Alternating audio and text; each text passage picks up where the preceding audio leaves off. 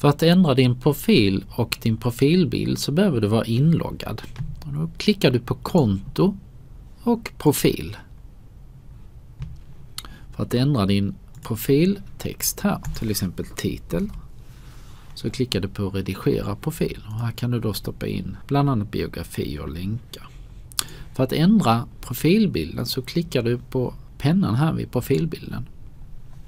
Och där kan du välja att ladda upp en bild. Och sen kan man då justera den om man behöver. Det blir en cirkel av den. Och sen trycker vi spara. Och så var det färdigt.